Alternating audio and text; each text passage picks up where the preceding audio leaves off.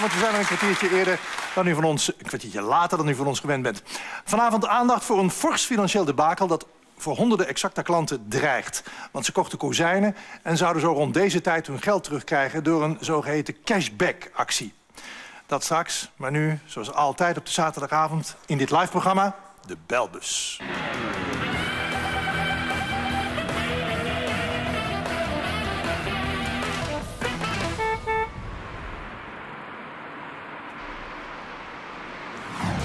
Dit is het kantoor van de 11-jarige Danny Donders, de jongste werknemer van Nederland. Want hoewel Danny officieel nog helemaal niet mag werken... krijgt hij sinds een jaar de ene na de andere brief van de Belastingdienst. Het begon goed met een teruggave. Daar nog 94 euro. En toen dacht je, Ja, lekker. Maar helaas, dat geld is niet van hem, want Danny heeft nog nooit gewerkt... en heeft dus ook nog nooit aangifte hoeven te doen. Toch houdt de Belastingdienst vol dat Danny een fulltime job heeft. En inmiddels stromen de aanmaningen binnen. 2181 05 848 51. Nog niet of niet volledig heeft betaald. Het gaat om 758 euro. Wellicht is de betaling aan uw aandacht ontsnapt. zo Danny. Wat was jouw jaarinkomen dan in 2005? Weet niet. Hoeveel zakgeld krijg je? 10 euro per maand. Maal 12? Dat is 120 euro. Nou, dat kan het dus niet zijn, of wel? De ouders van Danny zijn het inmiddels helemaal zat.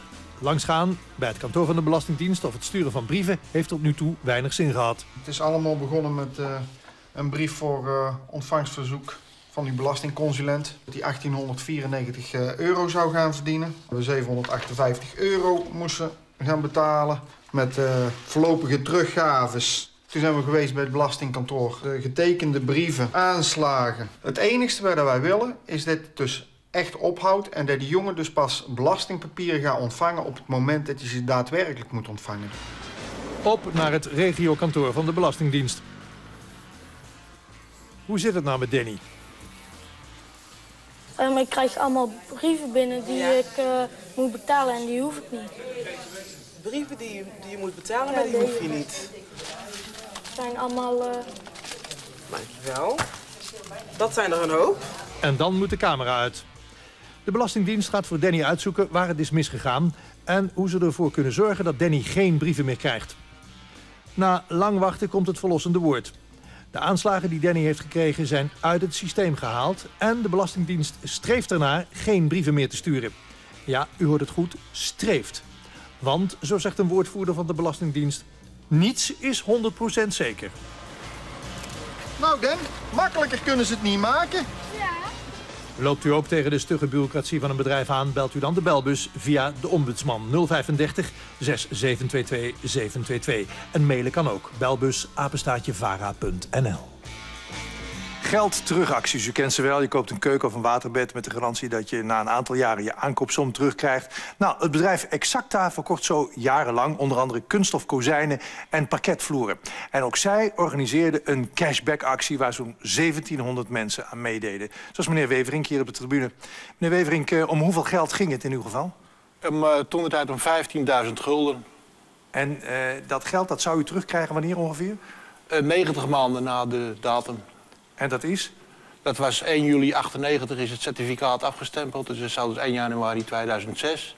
Met een uitloop van 30 dagen bedenktijd.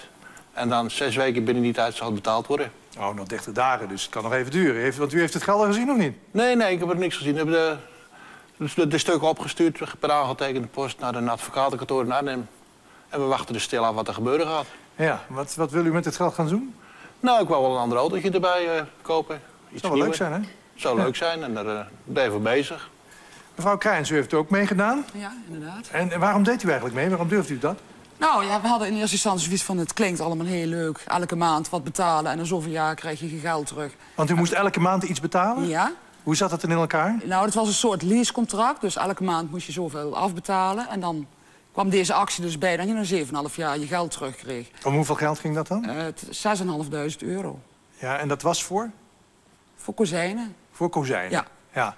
En dat heeft u braaf gedaan? Ja, we hebben nog gevraagd toen van, eh, maar als dat bedrijf, weet je, als er iets niet goed gaat of zo, maar die vertegenwoordigers en er stonden allemaal in, de notaris die eh, regelt dat allemaal. En, eh, nou, Dus er stond een notaris garant voor. Ja, tenminste, dat stond in, het, in die voorwaarden. Ja. En is dat geld belangrijk voor u om terug te krijgen? Ja, het is een behoorlijk bedrag, dus graag zelfs. Ja, wat gaat u ermee doen? Nou, daar hebben we nog niet over nagedacht. Maar, Nee, meteen eh, op de spaarrekening zetten en veel geld, eh, veel rente trekken, denk ja, ik niet? bijvoorbeeld. Ja, eh, meneer Koopman. Ja. Om hoeveel geld ging het bij u? Eh, bij mij ging het om zo'n 8500 euro. En dat was voor kozijnen? Eh, ja, een drietal kozijnen heb ik eh, besteld bij ze en laten plaatsen. Ja, dat is niet goedkoop, hè? Nee, dat was nog pittig aan de prijs. Maar ze voldoen goed. Wat zegt u? Die, die kozijnen doen het nog steeds goed. Eh, in principe, ja, ze doen het wel erg goed, ja. Ja. Alleen, eh, de ene hebben ze op het begin al verkeerd omgeplaatst. En eh, daar had ik ook al helemaal niks meer over te vertellen verder. Nee? En het zit nog altijd verkeerd om. Het, zit nog wel, het maakt op principe niet zoveel uit, maar het was niet zoals ik het hebben wilde. En wanneer krijgt u uw geld terug? Eh, in september dit jaar. Ja. En dat is die 8500 gulden? Nou, dat is eh, min euro is het. Dus dat was iets van 17.000 euro, minder btw. Minder BTW. En wat gaat u daarmee doen? Eh, ik zou de rest van mijn buitenkant van mijn huis wel op willen knappen, ja. Ja, u rekent erop. Ik reken er wel op, ja. En gaat u het krijgen? Ehm, ik betwijfel het. Waarom? Eh, daarom zit ik hier, denk ik. Eh, ik denk dat er iets niet goed is. U denkt dat er iets niet goed is. Dat is een mooi begin van een verhaal over Exacta. Exacta Kozijnen. Bijna tien jaar geleden besteedde Kassa ook al eens aandacht aan dat bedrijf. Want de verkoopmethodes waren omstreden. Als je op straat, aan de deur of telefonisch iets koopt... dan is er sprake van colportage. Wie op zo'n aanbod ingaat, die heeft acht dagen de tijd... om de koop alsnog te ontbinden. Dat is wettelijk vastgelegd. Maar bij de kunststofkozijnenfirma Exacta... hebben klanten soms jaren werk om van een contract af te komen. Een nachtmerrie. Iets waarvan je bij je eigen denkt, eh, dit overkomt jou niet, dit overkomt de buren. Je voelt je zo miskend en ik voelde me eigenlijk een beetje vies. Tweeënhalf jaar geleden belde de firma Exacta op. Of mevrouw Verhoeven geïnteresseerd was in nieuwe kozijnen en een gesprek aan huis. Die liep gelijk mijn tuin in. Klopte even op de kozijnen. Prikte een pen in het kozijn en zei... Kast verrot, mevrouw. Ja, dat is, eh, moet allemaal vernieuwd worden. Hij begon eigenlijk eh, van, ja, ik mag het eigenlijk niet zeggen, want het is verboden. Maar als u gelijk tekent, dan krijgt u een aantal cadeaus van ons. En eh, Daarmee ja, bent u verleid. eh, ja, omdat het dus om de afwerking ging aan de binnenkant. En anders kwam die afwerking voor je eigen rekening. Eh, Er komt zo'n enorme druk op je te liggen. Dat eh, je doet het en je tekent zo achter elkaar zeven contracten. De afgelopen twee jaar kwamen bij de Consumentenbond 80 klachten binnen over Exacta. Dat is zeker in eh, verhouding tot andere bedrijven die dezelfde verkoopmethodes aanhouden, is dat echt veel. Mevrouw Kalter moest volgens het contract 295 gulden per maand betalen. Door de lease met Exacta komen de nieuwe kozijnen op 16.000 gulden. Mevrouw Verhoeven had 125 gulden per maand moeten betalen. Dit ene raam kostte haar dan 15.000 gulden. Ik heb dus alle mogelijke moeite gedaan om van de aankoop af te komen. En alles werd gewoon niet geaccepteerd. We vinden het niet prettig als mensen, eh, zeg maar, nadat ze een opdracht gegeven hebben, deze annuleren. Om een eenvoudige reden. Dat eh, een order is een order. En eh, nou goed, daar draait eh, de brandweer het licht van en, eh, en zo meer. Anderhalf jaar later wordt mevrouw Verhoeven door Exacta voor de rechter gedaagd. Ze hield vol. Twee keer telefonisch geannuleerd, twee keer per brief... en op de achtste dag stuurde ze ook nog eens een aangetekende brief. De rechter gaf mevrouw Verhoeven op alle punten gelijk. Omstreden verkoopmethodes en tientallen klachten in 1997. En nu zitten een kleine 2000 klanten te wachten op hun geld.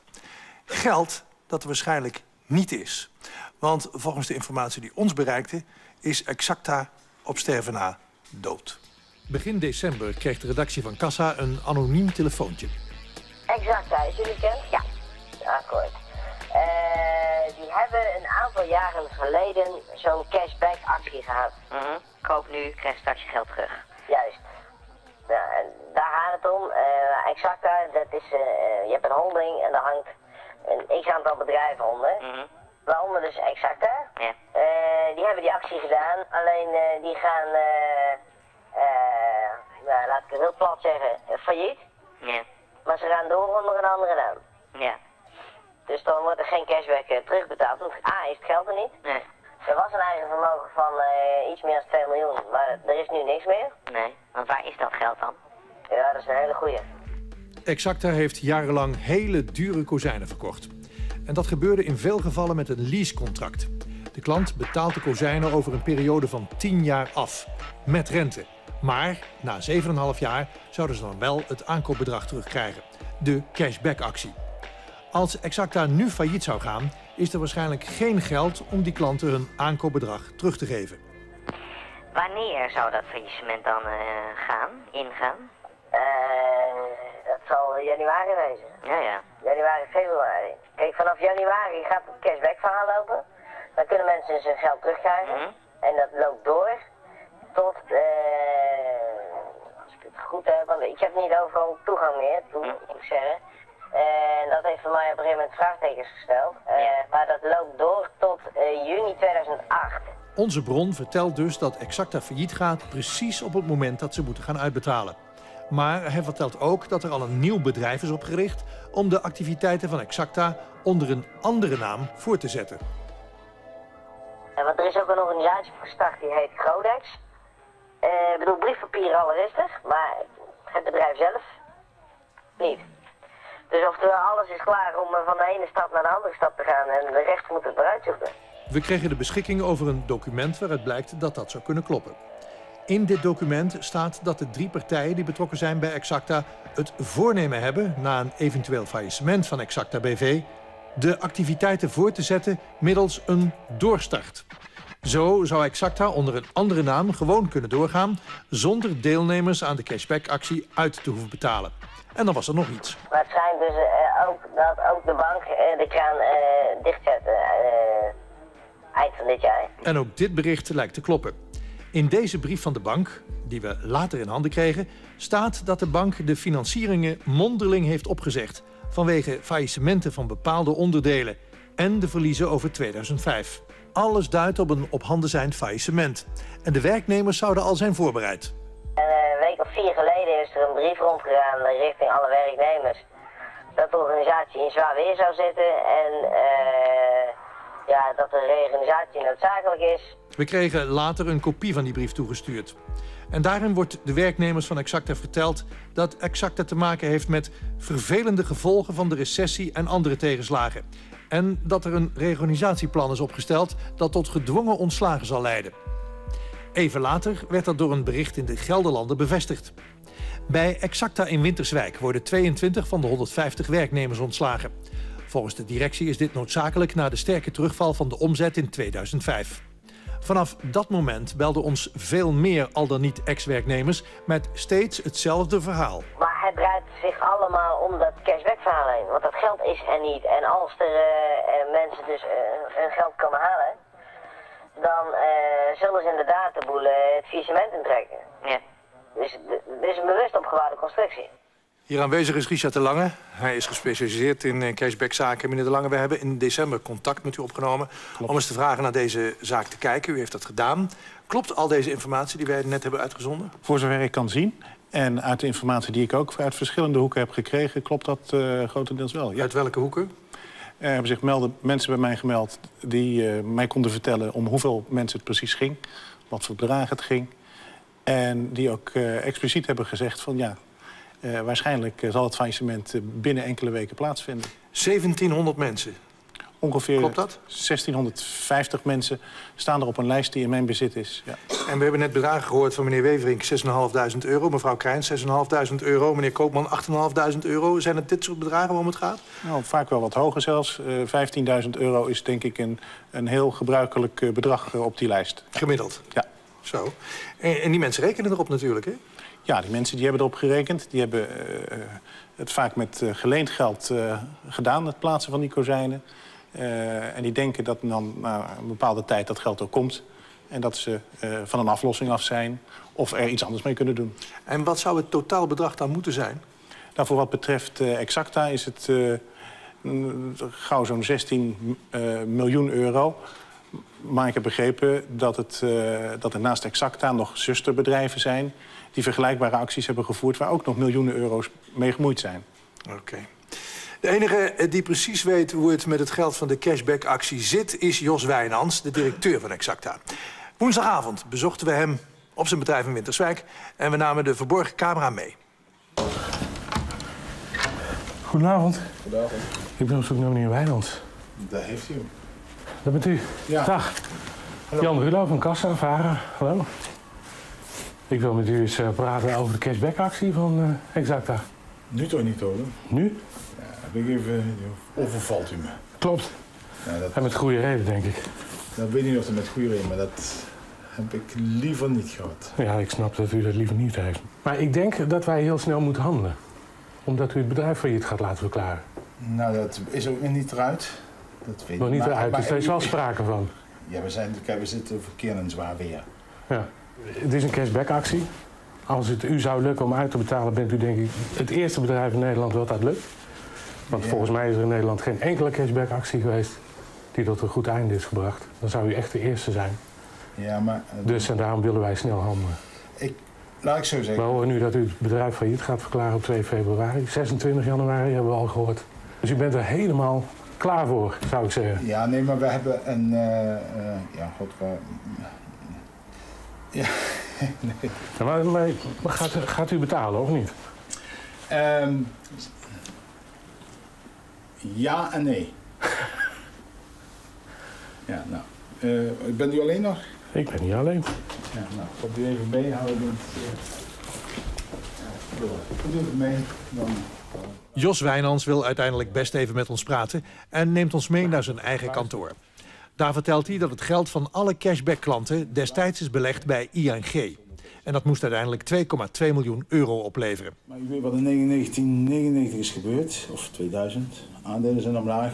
En die 2,2 miljoen heeft toen een, ergens in de buurt gestaan van 1,4. En staat nu, vandaag de dag, om 1,8 miljoen. Maar 1,8 miljoen euro is volgens Wijnands niet genoeg... om alle cashback-klanten uit te betalen. Daarvoor is, volgens zijn berekeningen, 5,1 miljoen euro nodig. Daarom heeft hij nog een regeling getroffen. Wijnands heeft alle fabriekspanden van Exacta BV... in een hypotheek van de Rabobank gestopt. Dat moet hem 3,3 miljoen euro opleveren. 1,8 miljoen euro en 3,3 miljoen is dus samen 5,1 miljoen euro. Precies genoeg dus. Het geld is niet van u, hè? Nee, is er niet van mij. Het staat ook netjes. Kan ik betonen. In in de kredietovereenkomst staat 3,3 miljoen gereserveerd voor cashback-actie. Is 1,8 miljoen. En januari, half februari gaan we uitbetalen. Maar de grote vraag is of exact daar dan op staat. Ja, dat is waar. Dat is mijn probleem. Maar wie, wie is formeel juridisch gezien eigenaar van het geld van de cashback-actie? Op dit moment. Ja, het zit in, onze, in, in ons hypotheekverhaal. Eh Maar formeel als ik- denk ik, zijn wij het. Maar dat- Maar als ik nou eens even heel zwart-wit voorstel. Ik kan natuurlijk een heel eh, vervelend scenario eh, schetsen. Dat is dat u het eh, bedrijf failliet laat gaan. Dat het cashback-actie eh, terugstroomt in het bedrijf en u een doorstart maakt. En dan bent u gered. Nee, nee, nee, nee, dat kan niet. Dat kan niet. Dat kan absoluut. Waarom niet? Omdat ik nooit aan het geld kan komen. Maar u zegt net dat u eigenaar bent. Nee, ja, wacht even, maar bij een faillissement gaan andere krachten spelen. Ja. Nee, daar heb ik niks. Daar sta ik helemaal los van. Wijnands belt met de administrateur van zijn bedrijf. Samen lopen we naar diens kantoor, want hij wil laten zien dat het geld echt naar alle cashback-klanten gaat. Wat zit u daar staan? Voorziening voor cashback. Cashback-actie, ja. En van 2005 is het 5 miljoen. Ja. En eh, we hebben iedere keer tegen elkaar gezegd van daar komen wij niet aan. Dat doen wij bewust niet. Dan is het maar aan de curator. Maar wij komen er niet aan. Wij kunnen misschien het bedrijf redden door aan het geld te komen. En dat doen we niet. Ja. Dan zegt het maar. En dat was woensdagavond. Donderdag kregen we van directeur Wijnands een lange fax. En daarin schrijft hij het volgende. Exacta dreigt nu echt failliet te gaan. De 3,3 miljoen euro die is gereserveerd voor de cashback-actie... verdwijnt dan naar alle waarschijnlijkheid via de curator in de failliete boedel. Nou, meneer De Lange, dat betekent dat het geld dan weg is. Zou ik wel zeggen, ja. Hij zegt het zelf. Ja, want normaal gesproken zou dit geld moeten zijn gereserveerd op een speciale rekening, of hoe werkt dat? Nou, als je het goed doet, als überhaupt zo'n geldterugactie zou werken... eh, dan moet je dat geld separeren. Dan moet je het apart houden van het geld wat in Exacta zit. In een aparte stichting, of, bijvoorbeeld. Maar hij zei net, hier, kijk maar, dit is de voorziening voor de cashback-actie. Ja, voorziening, dat is een boekhoudkundige term. Dat wil nog niet zeggen dat het geld er ook daadwerkelijk is. Je zou er echt een aparte stichting van moeten maken. Het zou apart van Exacta moeten staan. Eh, als Exacta eh, onverhoopt eh, failleert... en het geld zou in een stichting zitten... zou het nog beschikbaar zijn voor de consumenten.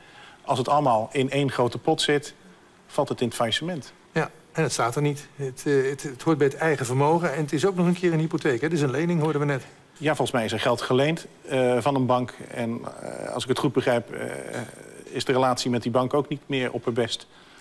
En dat betekent op het moment dat het bedrijf failliet gaat, failliet gaat dat dan eh, de, de eerste schuldeisers zijn de banken natuurlijk en de Belastingdienst waarschijnlijk.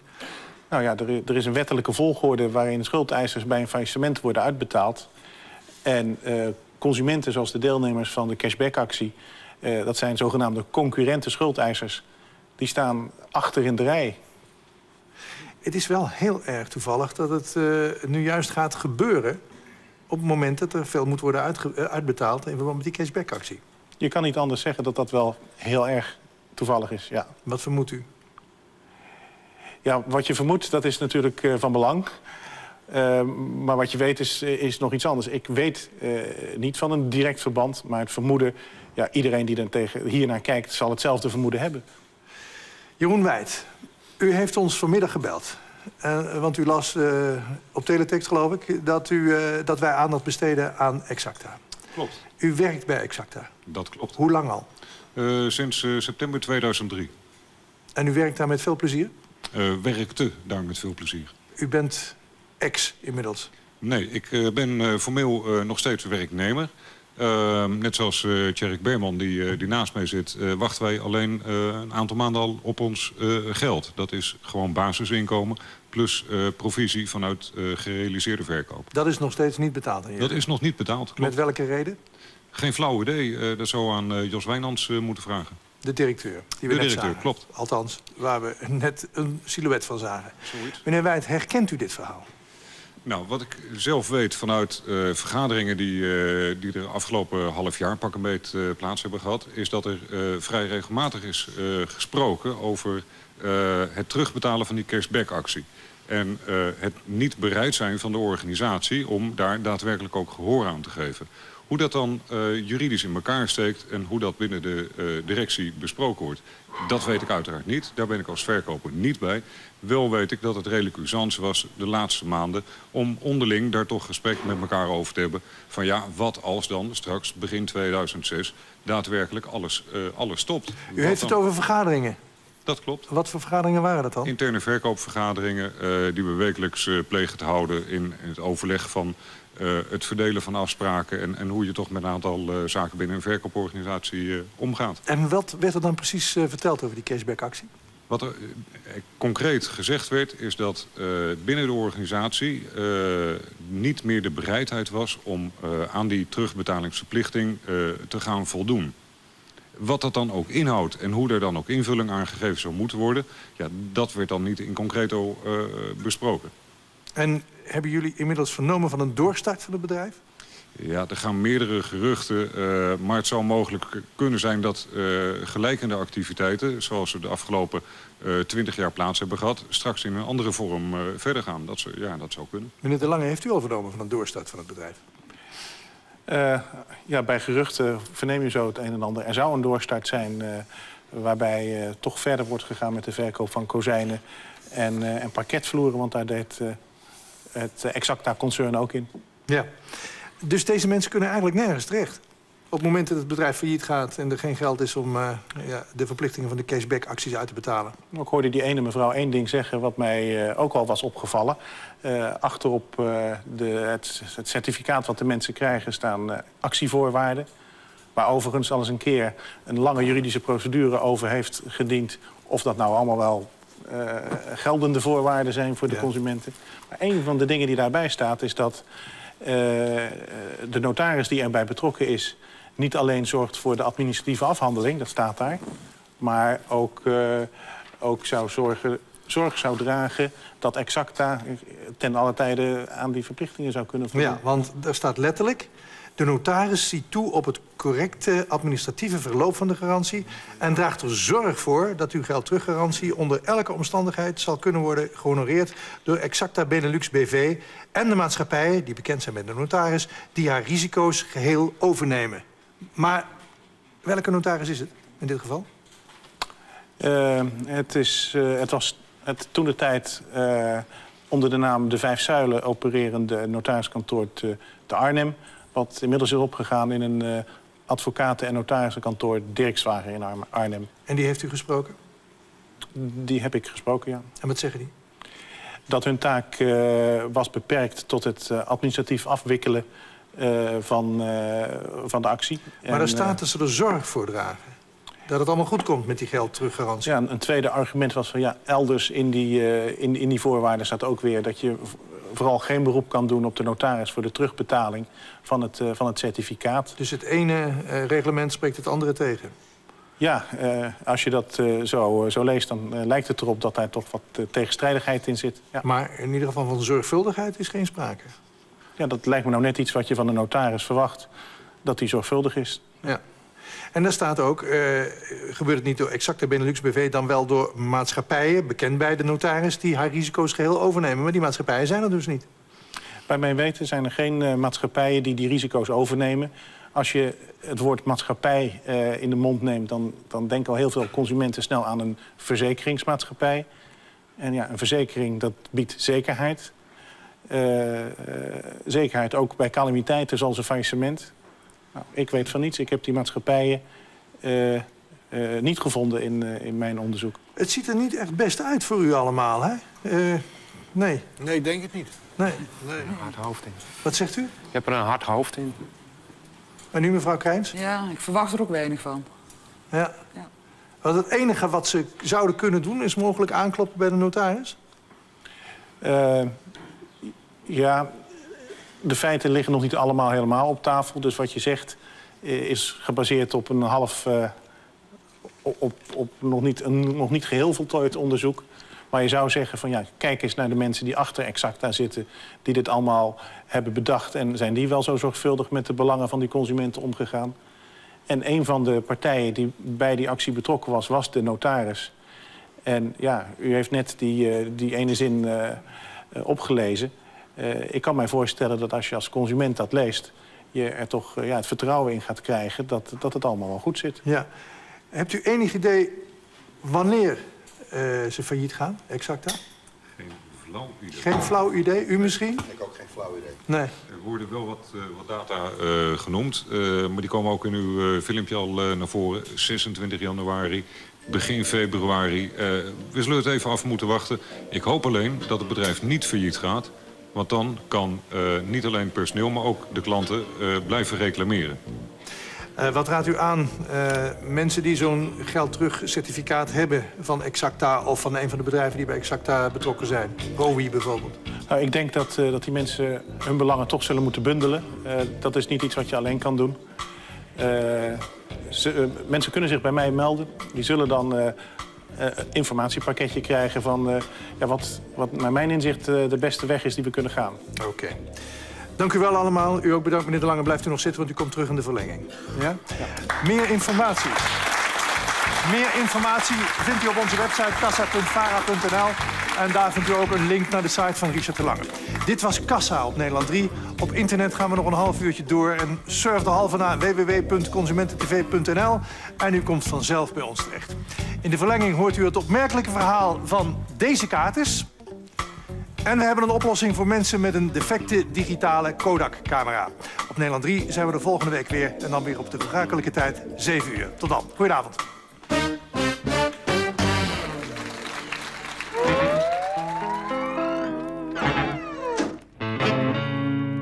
Kassa is een van die echte VARA-programma's.